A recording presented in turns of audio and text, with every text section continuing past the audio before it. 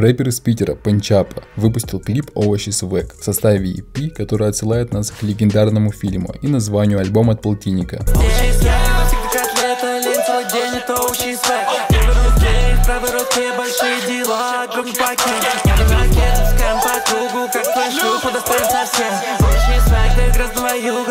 крутой пикет Ознакомиться с работой полностью вы можете по ссылкам в описании.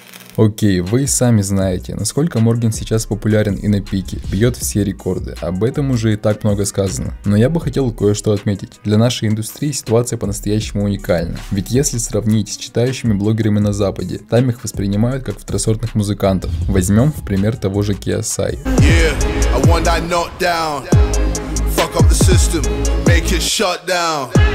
парня на канале более 20 миллионов подписчиков. Он один из популярнейших и влиятельных людей на ютубе. Его два боя с Логаном Полом обсуждала весь интернет. Оба блогера на этом заработали десятки миллионов долларов. Так вот, KSI в рэпе с 15 года.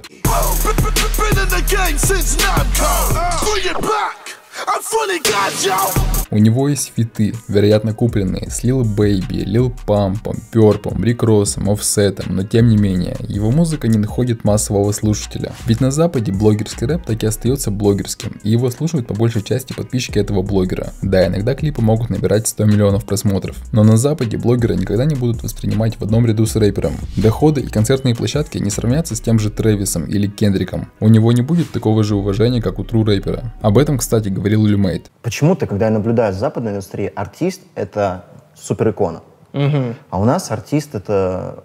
Он может проигрывать, например, блогеру, который сделал песню, да. решил делать рэп, и этот блогер выше, хотя он... Я не против того, что они используют рэп как инструмент, но его высота лишь в том, что у него большая аудитория. Но для культуры не сделано но почему-то все на него смотрят, как будто он меняет культуру. Хотя вот в рэпе был человек, который уже 5 лет, 10 лет делает, и он в культуру вкладывает. А тут появляется человек, который использует рэп как инструмент, понял? И он выше, и он по заработку выше, понял, по популярности, по залам. Влиянию. Влиянию, да, вот, вот влияние очень важно. Его приглашают там какие-то э, мероприятия там на телевидении, например. Но на Западе такого невозможно. Если кто-то сделал там какой-нибудь рэп-клип, да, рэп-формат, его аудитория посмеялась, ну, угу. приняла, сказала, ты молодец, ты умеешь, но возвращайся как бы в свою деятельность, а, а там, типа, а там свое. Да, там свое. Да, конечно, получилось у Джоджи, у Лорда, но они похоронили свои карьеры блогеров и полностью перешли в музыку. У нас же Алишер получает соизмеримые доходы и концертные площадки с топами индустрии, а некоторых он даже превосходит. Само собой, что по причине экстравагантного образа его много ненавидят. Зайдя в музыкальный паблик, если новость о том, что кто-то умирает, то большое количество комментариев о том, что опять не Морген. Но это делают просто комментаторы. Но так ли много медийных личностей, которые высказывают свое недовольство в отношении Алишера, аргументируя свою позицию, вы узнаете в сегодняшнем ролике. Поехали! Не спрашивай это дерьмо, чувак. На одной из трансляций Тейпу поступил вопрос, можно ли ожидать его фита с Морганом. Чувак мне пишет, что по фиту с Морганом. Бра. Бра. Бля, не спрашивай это дерьмо, чувак. Бля, пожалуйста, вот все, кто блядь, хотят задать такой вопрос, пожалуйста, отпишитесь, блядь, от меня, блядь, не смотрите мой прямой эфир. Позже Алишер объяснил позицию тейпа. С Big Baby Tape. Нет, не будет. Э, мы в разных мирах живем, абсолютно. Э, он, он живет в мире э, культуры рэпа, да, хип-хопа, вот трушности, стрит-кредибилити, вот этой хуеты всей, да. И ну, по его мнению, наверное, вот поступки, которые я делаю, они делают из меня какого-то не такого, недостойного человека. Ну, он живет в своем мире, пусть живет. Как видим, Тейп серьезно относится к тому, с кем у него фит, и для него фит с блогером, тем более с такой репутацией, недопустим. Последнее, что я включу, это сраного Моргенштерна, понимаешь? Ну это просто разложение какое-то. Широкая публика могла узнать об Оби-Ване после исторического батла Окси против Славы КПСС, где после каждого удачного панча Мирона мы слышали «Е-бой»,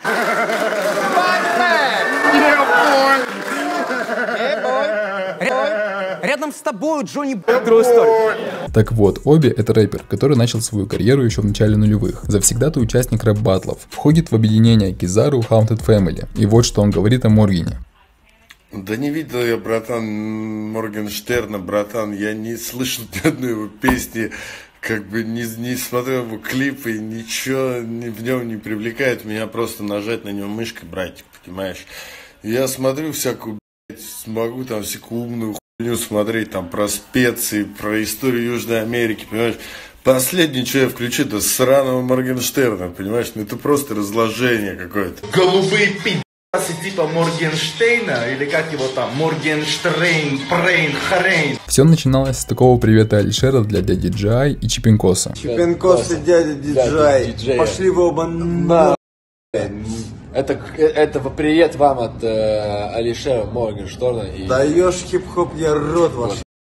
Дядя не стал терпеть и ответил ему, пообещав похороны в закрытом гробу. А то, что делают э, голубые пидасы типа Моргенштейна, или как его там, Моргенштрейн, Прейн, Хрейн, это полная хуйня. И, кстати, кто пойдет на похороны Моргенштерна или Штрейна, или как его там, я не знаю настоящее имя этого пизда. Кто пойдет на его похороны после встречи дяди с ним? Не идите на его похороны. Он будет в закрытом гробу. Позже он заявил, что хочет с ним фит, потому что он делает музыку реально за 10 минут. Но я бы записался с Моргенштерном только по одной причине.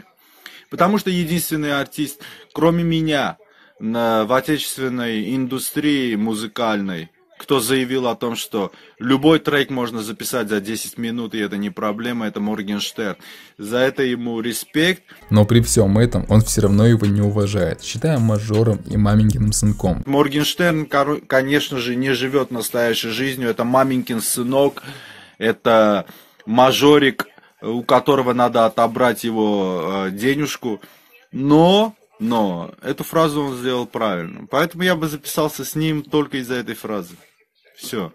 Я даже не могу представить украинского артиста, который во время траура в Кемерово кричит со сцены «Нахуй траур». У Алишера был концерт в Одессе. Йо, Одесса, вот буквально уже через пару часиков состоится концерт, несколько новостей. Во-первых, концерт будет. Во-вторых, у нас sold out, на входе билетов нет, сегодня полный клуб, будет мясо. В это время в Украине был объявлен национальный траур по причине того, что в результате пожара в колледже Одессы погибли люди. И прямо со сцены Алишер высказал свою позицию по этому поводу. Я тоже хочу пару слов сказать насчет траура. Несомненно, произошла х**ня. Но траур, траур, для кого? Для кого? Зачем? Для тех, кто умер, им похуй, не умерли.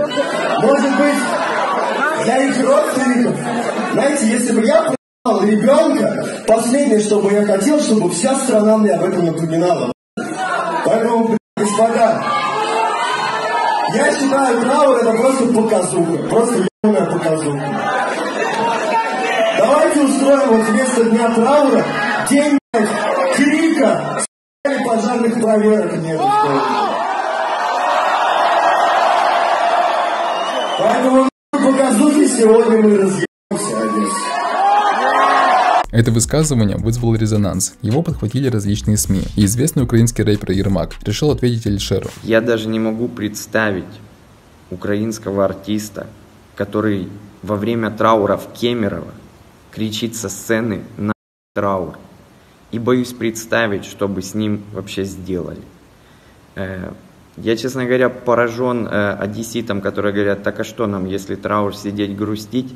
Вы знаете, там можно просто уважать, потому что на таких понятиях, как уважение и сострадание, построена вся эволюция человека, потому что это одна из самых сложных форм эмоций, когда ты можешь выйти за рамки своего эго и подумать о ком-то еще. Э, Всем желаю развития, добра и не быть тупыми обезьянами.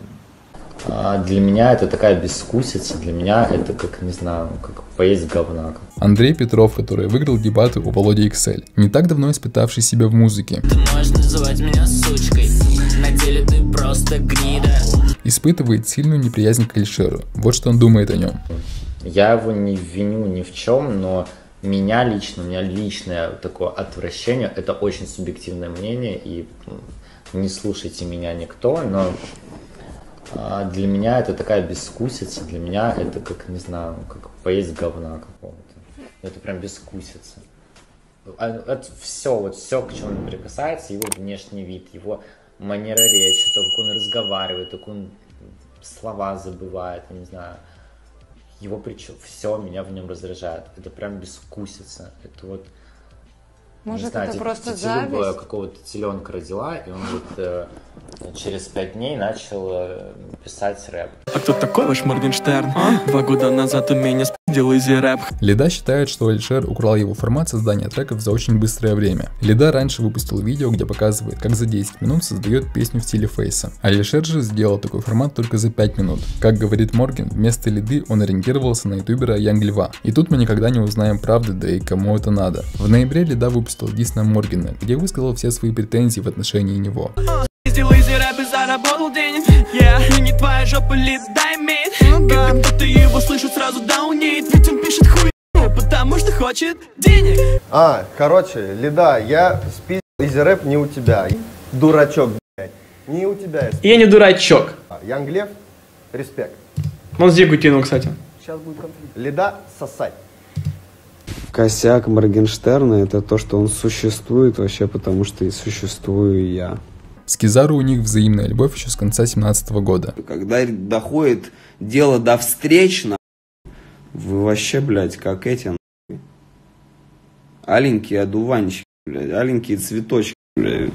Так вот, я могу прилететь спокойно, серьезно. Я тебе предлагаю дискуссию, вот прям в формате видео. Нахуй вот это вот батлы, вот это, да? Ты же тоже говоришь, нахуй там батлы и прочее. Просто поговорить. Это будет как вот дискуссия двух разных поколений. Алишер и разоблачение снимал на него. Просто прочитав ваши комментарии под выпуском Изиреп про Кизару, я понял, что, к сожалению, в мире до сих пор живет очень много тупых, отбитых ебанатов. Данная болезнь называется кизарак головного мозга бля у. И собирался ехать в Испанию на дебаты с Олегом. Но, увы, этого не случилось. В своих трансляциях Кизару, как и два года назад, продолжает задевать Алишера. И кажется, это не закончится никогда.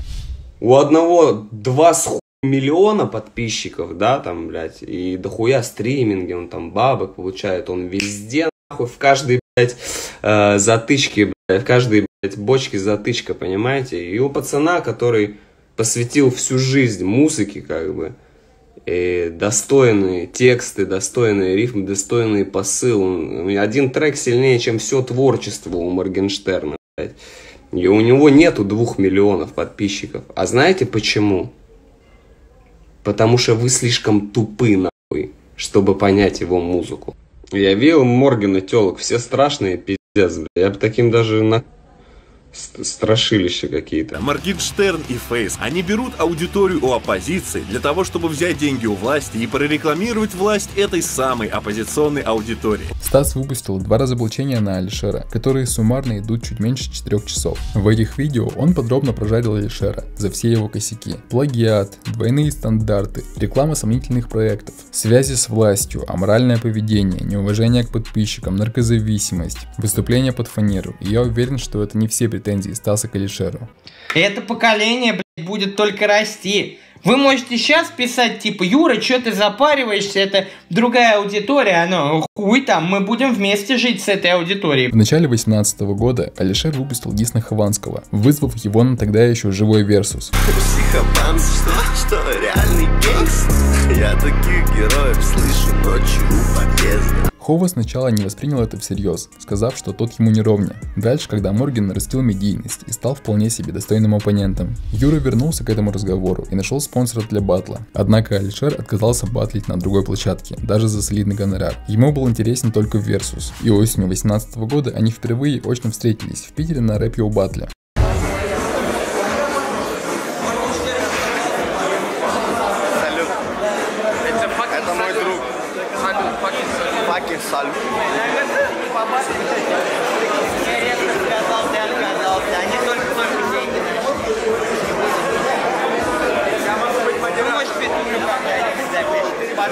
Это еще больше укрепило позицию Юры касаемо личности этого персонажа. И вот совсем недавно Юра вполне обоснованно и аргументированно разносил Алишера за его ответ на разоблачение Стаса. А потом он просто пропал, перестал выходить на связь. Да это как ебет победителя, отморозок, ты тупой.